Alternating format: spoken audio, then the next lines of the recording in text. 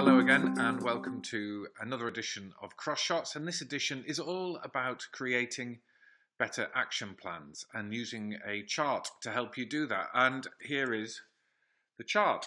And uh, this chart was given to me by a friend and mentor of mine called Alan Weiss. And Alan is a, a coach, a consultant, and, and a writer. And he must have written over 50 management books, a man's a genius. But anyway, he shared this particular chart um, with me, and it's all about developing better action plans. And if you think about any, if you think about any issue you, you're facing and any plan of action you're trying to create, there are two dimensions to it really.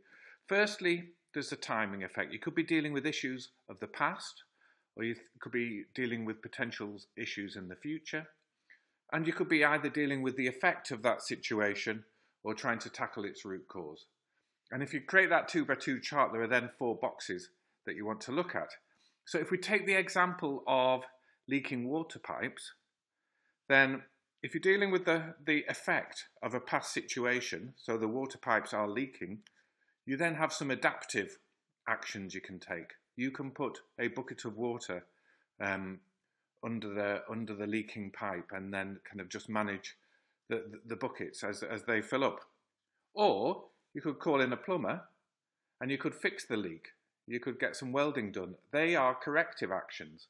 So they are all about when, when the leak has happened. They are actions of the past. If you think about the future and dealing with the cause, then really you're taking preventative actions. You are um, you're doing maintenance on the pipe work. You're making sure no leaks exist. But you might just um, decide to deal with the effects of potential future actions. So you take some contingent actions. You have some buckets at the ready if, um, if you have a future leak. So with any action plan, you're probably doing a mixture of all of these four types of actions. Um, but what you find is for many situations, you end up getting trapped in the adaptive box. You put the metaphorical buckets under the leaking tap rather than taking the corrective action or taking the preventative or contingent action. So why don't you use this chart? Use it with your teams, use it with the issues that you're facing at the moment, and use it to try and get a more balanced approach to developing a more effective, a better plan of action. Thanks for watching and look forward to seeing you next time.